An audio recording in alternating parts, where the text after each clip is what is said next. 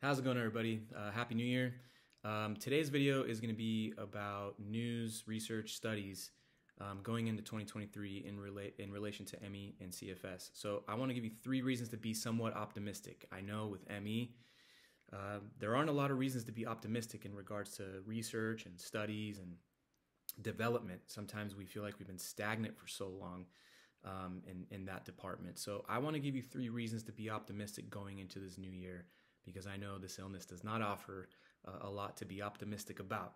And I don't just mean symptomatically, but I just mean as far as we just don't see a lot of uh, uh, progress on the research end. So I'm just going to give you three um, links that I'm going to put in the description. Everything I talk about here, I'm going to put in the description. You can go into detail and dive in further. I'm going to keep it vague. I just want to inform you guys of this. I know a lot of people don't have the time, energy, or health to do this. So I thought I would just kind of alert you guys of these things, and then you can follow up um, and and read in detail. So the first one speaks about uh, novel brain imaging studies seeks to answer uh, chronic fatigue and fibromyalgia mysteries. And um, this study looks like they're using MRIs to track brain activity in around 300 participants to determine how the brain controls its blood flow to match its energy needs to better understand the disease process of fatigue related illnesses. So, to me, that's extremely encouraging. Um, more and more data is coming out that this is a neuro uh, illness, neuroinflammatory inflammatory illness. Um, and I think it's great that it's being studied. And I find that to be extremely uh, promising. So that's that's reason number one to be uh, a little bit optimistic uh, here going into 2023. Uh, number two, there is a potential new treatment for brain fog in long COVID patients. Um, some may ask why I'm speaking about long COVID. Uh, ME and CFS and long COVID seem to be, if not the same illness, a very, very similar illness. But they're both, it's starting to be pretty obvious, they're both post viral illnesses that share a lot of the same characteristics uh, brain fog, fatigue, post exertional malaise. Um, they have a lot in common. So there is some optimism that all the attention uh, long COVID is getting and funds that long COVID is getting um, will translate into treatment and discoveries for ME CFS. Um, and now that they have a potential new treatment for brain fog and long COVID, it's only a matter of time until that's tested for ME and CFS patients to see if that works for them as well.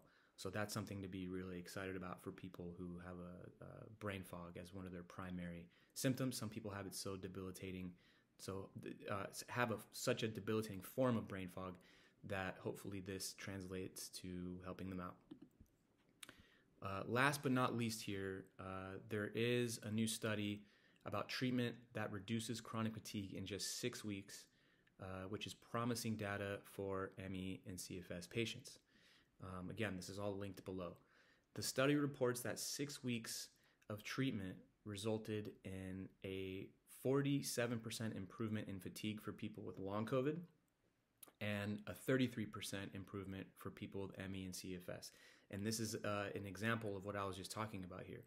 They are trying out treatments with long COVID and ME and CFS, and they're seeing how they can improve both.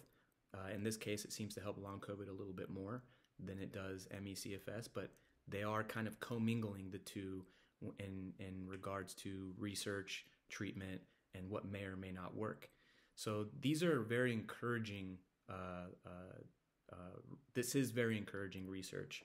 And you know, ten years ago, five years ago, there was n- almost nothing out there of significance as far as research, research is concerned. Um, so I think it's it's exciting. I think it's important to know that this is happening in the background. If if you have ME and you've been suffering for a long time, a lot of people lose a lot of hope. Um, but it's important for you to know there are things happening.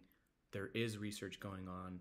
Maybe not as fast as we'd like. Maybe not as much as we'd like. Maybe it's not as well funded as we'd like. But it is happening, and it wasn't before. So there is progress, and hopefully there are uh, hopefully there is treatment and relief coming uh, for those who are severely affected or anyone affected by ME, uh, CFS, and long COVID. So those are just three things. I know these aren't uh, extremely groundbreaking um, uh, pieces of, of news, but I find it to be extremely encouraging that there are things happening behind the scenes and that they are finding treatments that help improve fatigue and brain fog. Uh, as we all know, those are probably the two most common symptoms of ME.